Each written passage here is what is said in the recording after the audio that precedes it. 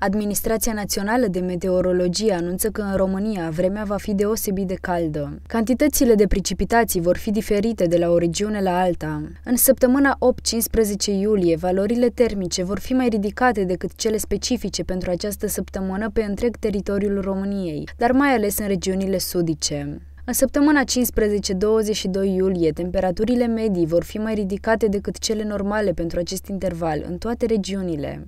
De asemenea, cantitățile de precipitații vor fi în general apropiate de cele normale pentru această perioadă, în cea mai mare parte a țării. În săptămâna 22-29 iulie, temperatura medie a aerului va avea valori mai ridicate decât cele normale pentru acest interval. Totodată, cantitățile de precipitații vor fi apropiate de cele normale pentru acest interval, în majoritatea regiunilor, au precizat meteorologii.